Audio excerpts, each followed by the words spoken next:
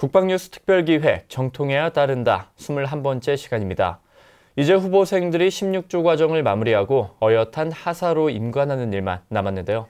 오늘은 후보생들이 임관하기까지 가장 가까운 곳에서 함께 땀 흘리고 많은 도움을 준 담임 교관들의 이야기를 들어보겠습니다.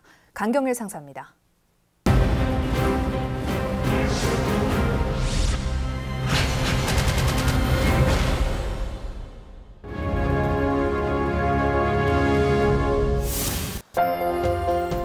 새벽 공기를 가르며 차량이 들어오는데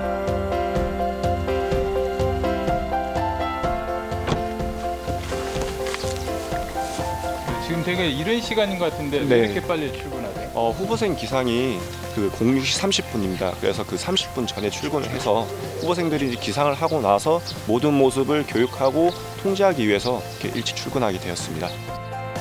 담임 교관들은 후보생들이 일어나기 전 출근해 취침 후 퇴근하는 밀착 훈육을 하고 있습니다.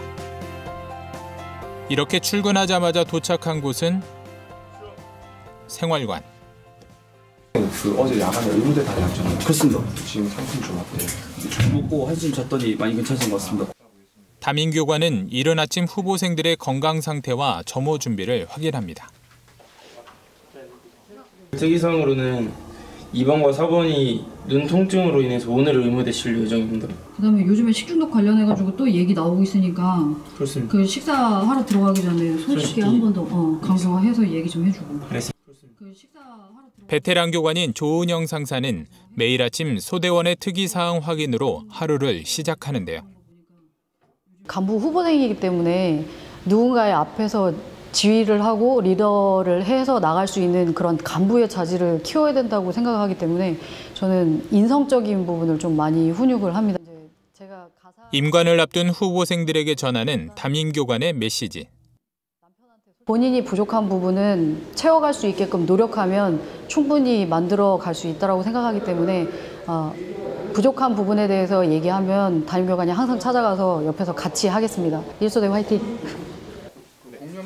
양성 과정에서는 여러 가지 이유로 중간에 탈락하는 인원들이 발생하는데요. 그럴 때마다 담임 교관들의 마음은 더욱 아플 수밖에 없습니다.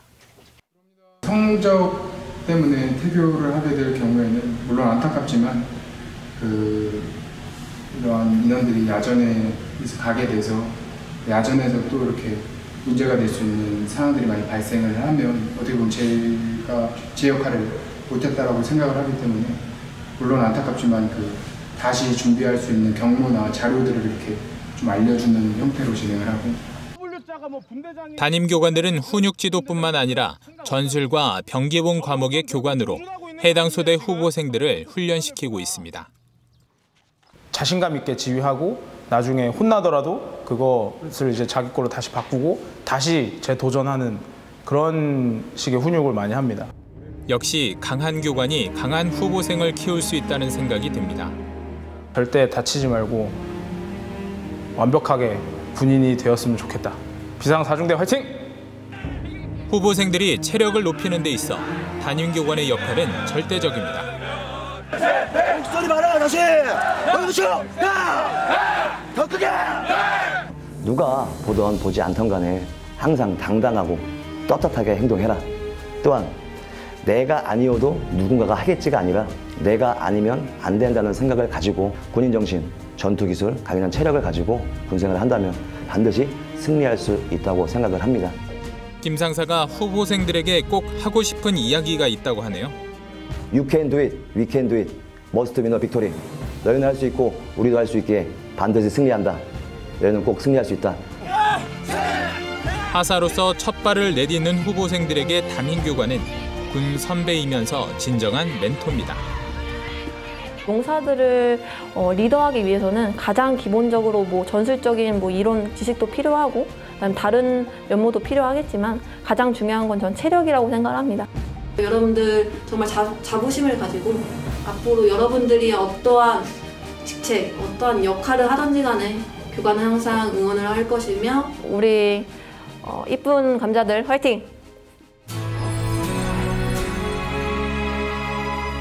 교관님의 가르침을 받아 저희 무사히 15명 인간할 수 있게 되었습니다. 야전에 나가서도 군 기본 자세를 확립하고 군인다운 모습으로 열심히 살아가겠습니다. 중간에 사랑합니다. 백지의 후보생에서 하사로 인간하기까지 절대적인 조력자 담임 교관. 이들의 고민과 헌신 그리고 함께 흘리는 땀과 눈물이 있기에 대한민국 육군 부사관의 탄생은 계속될 겁니다.